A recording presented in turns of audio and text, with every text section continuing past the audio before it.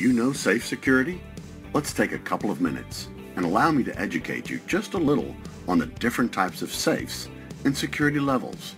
Then let's start with a lineup of four types of safes, starting with a TL15, then a fire and burglary, followed by our B-rated cash safe, and then an office safe last. The first I want to introduce is the TL15 category. The letters TL stand for tool. Have you ever been into a bank and seen that vault over there in the corner? That is an insurable UL rated vault, and the TL15 is also an insurable UL rated vault like that bank vault. This safe is designed and made with multiple layers of steel, hard plate, and a high compression concrete aluminum barrier. When UL was testing it for endurance against an attack, they only made it 53% of the way through the door and 55% of the way through the side wall before they declared it an engineering success.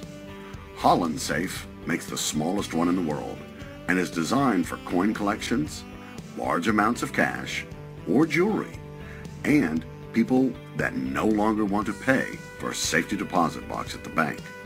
Normally, your insurance company will require this type of safe if you purchase a rider policy to cover certain contents. It is also two-hour fire rated, dual glass secondary locking system, and bolt down to the foundation. Prices start around the $1,400 price range for our smallest model. Next in line is our Fire and Burglary Safe Series. Fire rating is the same at 2-hour rating, and the security is fine for most residential and even commercial environments. Also bolts to the foundation.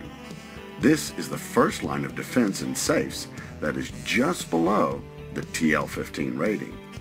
Some insurance rider policies may not accept this level of security, however, because it does not have that TL rating.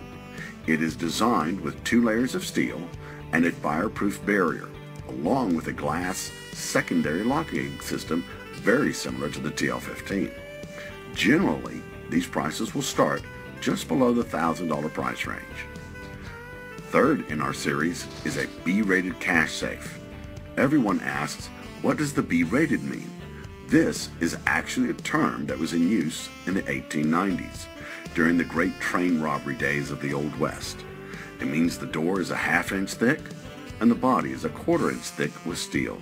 However, this is now an unregulated term, so all manufacturers make up what they want their B-rated safes to be. So, like a 2x4 at the lumber yard, we all know it's no longer a 2x4, so you need to check with all manufacturers to find out just how thick a steel is actually being used.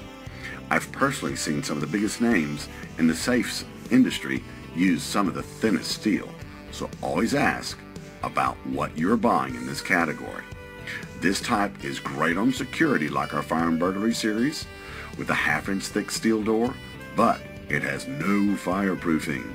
This uses a spring-loaded secondary locking system, also bolts to the foundation. Starting price ranges under $600. Last on our list is the Office Safe series.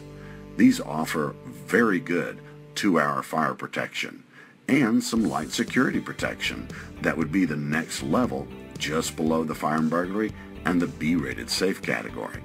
This series also bolts down to the foundation and price ranges on the Office Safe series start around the 690 price range.